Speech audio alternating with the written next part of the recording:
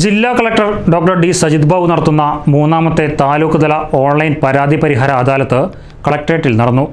അപ്രതീക്ഷിത അതിഥിയായി റവന്യൂ വകുപ്പ് മന്ത്രി ഇ ചന്ദ്രശേഖരൻ എത്തിയത് ഉദ്യോഗസ്ഥർക്കും പരാതിക്കാർക്കും പുത്തൻ അനുഭവമായി. ജില്ലാ collector doctor D Sajith Babu നടത്തിയ ഹോസ്ദുർഗ് താലൂക്ക് തല ഓൺലൈൻ പരാതി പരിഹാര അദാലത്തിലാണ് അപ്രതീക്ഷിത അതിഥിയായി റവന്യൂ വകുപ്പ് മന്ത്രി ഇ ചന്ദ്രശേഖരൻ എത്തിയത്. കളക്ടറേറ്റിൽ നടക്കുന്ന മറ്റൊരു യോഗത്തിൽ പങ്കെടുക്കാൻ എത്തിയതായിരുന്നു അദ്ദേഹം. ഇത് അദാലത്തിൽ പങ്കെടുത്ത ഉദ്യോഗസ്ഥർക്കും പരാതിക്കാർക്കും പുത്തൻ അനുഭവമായി.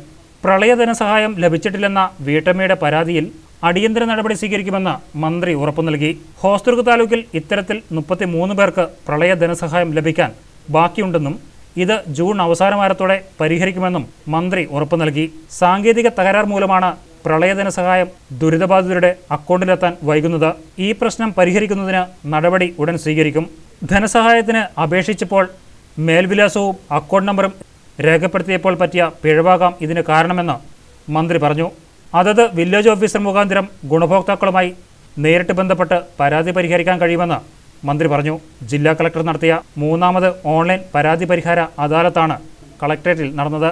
അദാലത്തിൽ തൊണ്ണൂറ്റി മൂന്ന് പരാതികളാണ് പരിഗണിച്ചത്. എൺപത്തിയേഴ് പരാതികളിൽ വകുപ്പ് തലത്തിൽ തീർപ്പ് കൽപ്പിച്ചു. ആറ് പരാതികളിലാണ് കളക്ടർ നേരിട്ട് ഇടപെട്ടത്. വായ്പ എഴുതി തള്ളണം ക്ഷേമനിധി പെൻഷനൊപ്പം വാർദ്ധക്യ പെൻഷനും ലഭ്യമാക്കണം. പ്രളയ ധനസഹായം ലഭിച്ചില്ല തുടങ്ങിയവയായിരുന്നു പരാതികൾ. Sub collector Arun K Vijayan deputy collector K Ravikumar Hosdurg tahsildar N Baniraj N I C officer K Rajan Akshaya ജില്ലാ programme manager M S Ajeesha തുടങ്ങിയവർ അദാലത്തിൽ സംബന്ധിച്ചു. News desk Kasaragod vision.